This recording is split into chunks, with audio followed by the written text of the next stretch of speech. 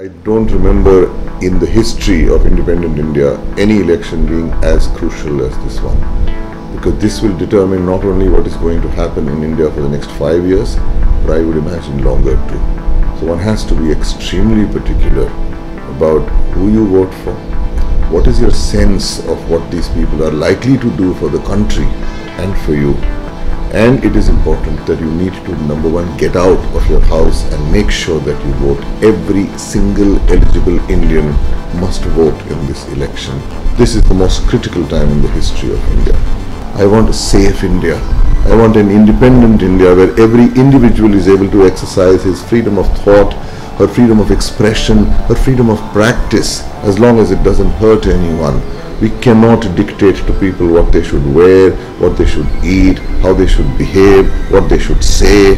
Enough of this. We want a country where we should feel free and safe, where 52% of the people who are polled in a survey do not say that they are scared of posting their views online because they would be they would invite hate and they would invite threats of violence. I want an India where there is justice, which is assured for everyone who is aggrieved, where there is an independent judiciary, there are independent democratic institutions, there is a free press which is free to question everyone in authority, no matter which the government is, without any fear, without any any expectation of favor.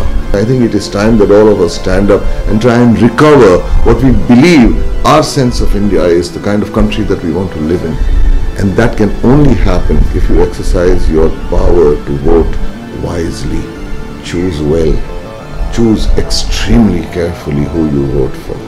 This is important for the future of this country. India is a country that is meant for every citizen of this land from the farmer in the field to the student in the classroom, from the worker in the factory to the domestic laborers who work in our homes, to the industrialists, to the professionals, to the artists, to professors, teachers, businessmen, everyone. And it is important that everyone has economic security, everyone has a job. It is important that each citizen like us takes upon himself or herself the responsibility of ensuring that there is equality, equal opportunity and economic security for every citizen of the country.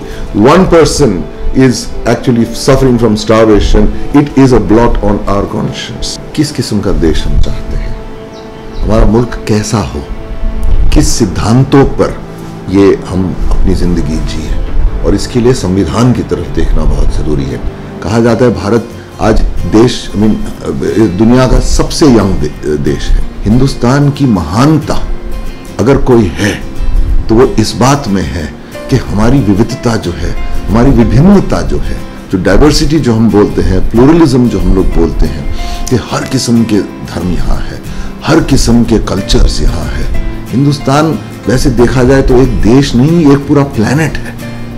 इतना खूबसूरत है वो, इस देश में security के साथ और एक आर्थिक कॉन्फिडेंस के साथ जीने का सबको मैं जहाँ वोट देने जा रहा हूँ, क्या वह ऐसी सरकार बनेगी जो ये सब दे सकती है?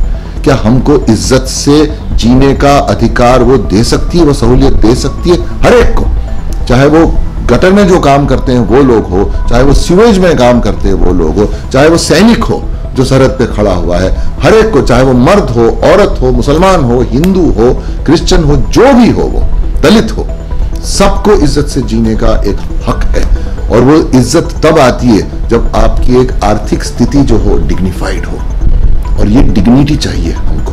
रविंद्रनाथ टैगोर ने जो लिखा था, वक्त आ गया है कि हर नागरिक को वो याद करना होगा उस कविता को। Where mind is without fear and the head is held high where knowledge is free where the world has not been broken up into fragments because of narrow domestic walls into that heaven of freedom my Father, let my country awake.